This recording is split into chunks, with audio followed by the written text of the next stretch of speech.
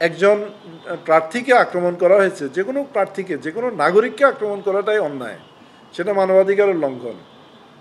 আমাকে যেমন আক্রমণ করলে মানবাধিকারের লঙ্ঘন হবে, একজন অন্য নাগরিককে আক্রমণ করলে মানবাধিকারের লঙ্ঘন, একজন প্রার্থীকে আক্রমণ করলেও এটা মানবাধিকারের লঙ্ঘন। যেমন দেশে নির্বাচন পরিচালনা করার জন্য একটা অত্যন্ত উচ্চ ক্ষমতা সম্পন্ন কমিশন গঠিত আছে।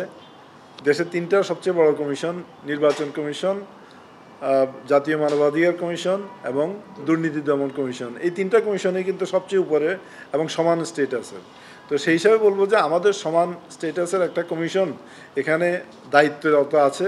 তারাও ইন্ডিপেন্ডেন্ট এবং কমিশন এবং তাদের নিরপেক্ষভাবে নির্বাচন করাটা হলো তাদের দায়িত্ব।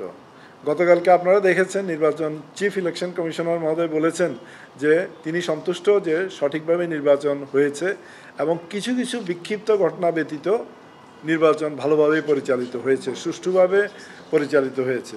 তা আমি নিজে যদিও এটা আমার নির্বাচন পরিচালনা, আমার কমিশনের দায়িত্ব নয়, তারপরেও কিন্তু আমি সচেতন আছি, কারণ ভোটাধিকার মানুষের একটা অধিকার।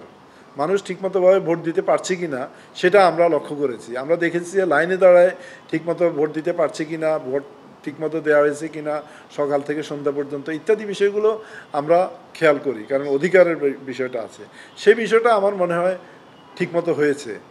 ভোটার, ভোটারের সংখ্যা কিছুটা কম ছিল, দুইখানেই, কিন্তু তা সত্ত্বেও এটা ঠিক যে এই দুইখানেই ভোটার কম থাকা সত্ত্বেও কোনোখানে ভোট দিতে গিয়ে মারপিট হয় নাই।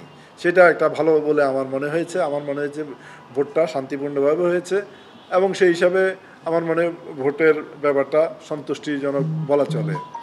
আর একজন প্রার্থীকে আক্রমণ করা হয়েছে, যে কোনো প্রার্থীকে, যে কোনো নাগরিককে আক্রমণ করাটাই অন্যায়। সেটা মানবাধিকারের লঙ্ঘন।